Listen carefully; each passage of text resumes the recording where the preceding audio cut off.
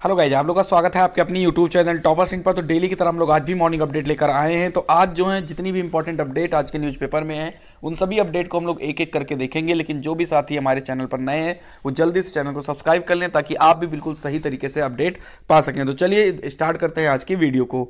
चलिए गए तो वीडियो स्टार्ट करने से पहले मैं आपको बता दूँ कि चक्सू पब्लिकेशन जो है सुपर टेट 2022 के लिए अपनी जो है बेस्ट स्टडी गाइड बुक जो है, वो लेकर आई है, जिसमें आपको पाँच से ज़्यादा बहुकल्पीय प्रश्न, साथ ही साथ में आपको समसामयिकी चार महीने की और भी बहुत सारी चीज़ें इसमें आपको मिल जाएँगी जो कि सिलेबस के अकॉर्डिंग है। अगर आप यहाँ पर देखिए तो किस अध्याय से कितने क्वेश्चन आए हैं, हर ईयर में कितने कितने क्वेश्चन आए हैं, बेहतरीन ढंग से इसको डिज़ाइन किया गया है। साथ ही साथ इसमें जो है लैंग्वेज भी बहुत अच्छी तरीके से लिखी गई है। चार महीने की करंट अफेयर यानी ये कंप्लीट स्टडी गाइड है, जो आपको ऑनलाइन भी मिल जाएगी, जिसके लिए मैंने डिस्क्रिप्शन बॉक्स में लिंक डाल दिया, आप वहाँ से भी ले सकते हो। मार्केट में भी आपको जो भी दुकान है, जहाँ पे बुक स्टोर शॉप है, आप वहीं, वहाँ पर भी जाकर आप इसको ले सकते हो।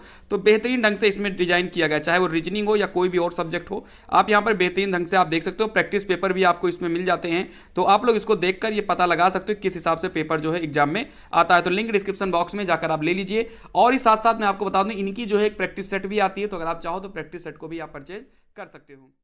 सबसे पहली जो अपडेट है वो है हमारी यूपी स्कॉलरशिप को लेकर के, जो कि आज लगभग हर एक न्यूज़पेपर में है। और चुनाव की वजह से अब की बार जो सरकार है, समाज कल्याण विभाग है, वो अब की बार स्कॉलरशिप ज़्यादा बच्चों को देने की जो है सोच रही है। एक अच्छी खबर है सभी बच्चों के लिए। इसमें लिखा है कि सोलह लाख से ज़्यादा को फ़ीस भरपाई और वजीफा। चालू शैक्षिक सत्र में इस बार पिछले सत्र के मुकाबले करीब 16 लाख अधिक छात्र छात्राओं को छात्रवृत्ति और फ़ीस भरपाई की सुविधा मिलेगी। पिछले शैक्षिक सत्र में कोरोना संकट के चलते उनतालीस लाख छात्र छात्राओं को ही छात्रवृत्ति और फ़ीस भरपाई की सुविधा मिल पाई थी। इसमें अनुसूचित जात, जनजात, सामान्य वर्ग के गरीब, ओबीसी और अल्पसंख्यक छात्र छात्राएँ शामिल हैं। तो आप देख सकते हो इसमें एक सबसे अच्छी खबर तो यह है कि अब की बार तकरीबन सोलह लाख छात्रों को जो है ज़्यादा जो है स्कॉलरशिप दी जाएगी। समझ में आई बात? तो अब की बार जो है सभी लोग फॉर्म डाल दीजिए, कोई दिक्कत हो तो करेक्शन करवा लीजिएगा, डेट आएगी उसकी। जब डेट के बारे में मुझे कुछ पता लगेगा तो मैं वीडियो के माध्यम से आपको बताऊँगा। बाकी सभी लोग अपने तरफ़ से हर एक चीज़ को बिल्कुल सही तरीके से कर लीजिए। फिर चाहे वो बैंक अकाउंट डिटेल्स हो, चाहे वो कोई भी आपका डिटेल्स हो, ठीक है? बाकी अब की बार जो है स्कॉलरशिप आने के चांसेस ज़्यादा है, क्योंकि आप सभी को पता है कि अब की बार जो है एक तो बजट भी ज़्यादा है और दूसरी चीज़ जो सबसे बेहतरीन है, वो है कि चुनाव होने वाला है। तो चुनाव में कोई भी कमी जो सरकार छोड़ेगी नहीं। तो इसलिए आप सभी लोग कमर कस लीजिए। तो अच्छी खबर है, सभी जितने भी छात्रों ने जो है स्कॉलरशिप का फॉर्म डाला है। सबसे ज़्यादा इंपॉर्टेंट ये कि चालीस लाख को सत्ताईस दिसंबर तक मिलेगी रकम। संयुक्त निदेशक ने बताया कि पहले ऑनलाइन आवेदन करने वाले 15 लाख छात्र छात्रों को के ब्यौरे का सत्यापन हो रहा है। यह काम 25 नवंबर तक चलेगा। 30 नवंबर से इनके बैंक खाते में राशि भेज दी जाएगी। यानी पहले जो है 15 लाख छात्रों की जो है खाते में भेजी जाएगी, जैसा कि जिनका फॉर्म पहले भर चुका था, ठीक है? और जिन लोगों का फॉर्म जो है बाद में भरा जा रहा है आपको भी को पता है कि तीस नवंबर लास्ट डेट है। इन सभी की जो स्कॉलरशिप है, वो सत्ताईस दिसंबर तक जो है छात्रों के खाते में भेज दी जाएगी। तो ये जो है बहुत अच्छी खबर है। कि सभी चीज़ के लिए एक समय सीमा निर्धारित कर दी गई है कि कब कब स्कॉलरशिप आई है और प्लस अब की बार जो 16 लाख छात्रों को जो है ज़्यादा स्कॉलरशिप मिलने वाली है। वहीं पर अगर हम बात करते हैं तो इसकी दूसरी अपडेट भी निकल के आई है। मतलब यही अपडेट है लेकिन दूसरे न्यूज़पेपर में आई है। तो आज तकरीबन हर जो न्यूज़पेपर है वहाँ पर जो है स्कॉलरशिप को लेकर के अपडेट आई है। हालाँकि आप सभी लोग बार बार मुझसे पूछते हैं करेक्शन डेट क्या है तो अभी करेक्शन डेट को लेकर कोई जो है ऑथेंटिक अपडेट नहीं है। अगर मुझे कुछ ऑथेंटिक अपडेट मिलती है तो ही मैं आपको बताऊँगा अन्यथा मैं आपको नहीं बताऊँगा, ठीक है? आप लोगों ने पता नहीं कहाँ से बताया कि वेबसाइट पर सोलह नवंबर दी हुई है। हालाँकि मैंने भी देखा है बट वो सब फर्जी है, उससे कोई मतलब नहीं है, ठीक है? अभी सोलह नवंबर से अगर होनी होती यार तो अब तक हो नहीं जाती। आप लोग खुद बताइए, आज कितने दिन हो चुके हैं? आज बाईस तारीख हो चुके हैं, एक हफ़्ता हो गया कि अभी करेक्शन नहीं शुरू हुआ। तो वो जो है, पहले की चीज़ें थी वहाँ पर जो दी हुई थी, लेकिन उसको अभी तक संशोधन नहीं किया गया है। तो इसके बारे में हम जो है, राय मशवरा लेकर कहीं ना कहीं से पूछ समाज कल्याण विभाग ऑफ़िस में पूछकर, तब मैं आप सभी को इसके बारे में एग्जैक्टली जानकारी दे पाऊँगा। तो यही अपडेट है तो इसको पढ़ने की ज़रूरत नहीं है। वहीं पर हम बात करते हैं टीजीटी पीजीटी भर्ती को लेकर के। अगर हम बात करें टीजीटी पीजीटी भर्ती को लेकर के तो चयन के बाद अब तैनाती का जो है संकट। सहायक प्राप्त माध्यमिक स्कूलों में प्रशिक्षित स्नातक टीजीटी और प्रवक्ता पीजीटी भर्ती 2016 के चयनित अभ्यर्थी अब तैनाती के लिए भटक रहे हैं।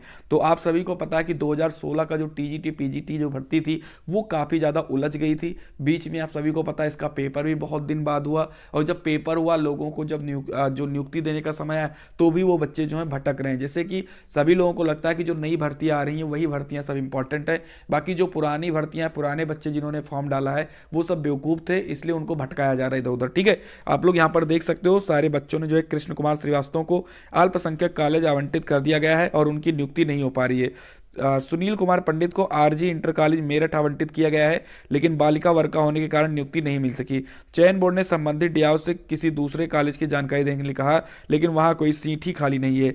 इस तर, इसी तरह तमाम अभ्यर्थियों को ऐसी दिक्कतों का सामना करना पड़ रहा है और वे चयन बोर्ड के जो है चक्कर लगा रहे हैं। ठीक है आप लोग यहाँ पर देख सकते हो कितनी ज़्यादा समस्या इन बच्चों को हो रही है। वहीं पर हम बात करते हैं ईडब्ल्यू छात्रों को लेकर के तो आयु सीमा में छूट का मुद्दा जो है वो गरमाया। लिखा है कि विधानसभा चुनाव करीब आते ही आर्थिक रूप से कमज़ोर वर्ग, यानी ईडब्ल्यूएस वर्ग के अभ्यर्थियों को भर्ती परीक्षाओं में आयु सीमा और परीक्षा शुल्क में छूट दिए जाने की मांग तेज हो गई है। एक तरफ़ अभ्यर्थियों ने विधायकों, सांसदों और मुख्यमंत्रियों को पत्र भेजकर ईडब्ल्यूएस अभ्यर्थियों को आयु सीमा में कम से कम पाँच वर्ष की छूट दिए जाने की मांग की है। तो दूसरी ओर तमाम विधायकों और सांसदों को सरकार को पत्र भेजकर अभ्यर्थियों की यह मांग पूरी करने की सिफारिश की है।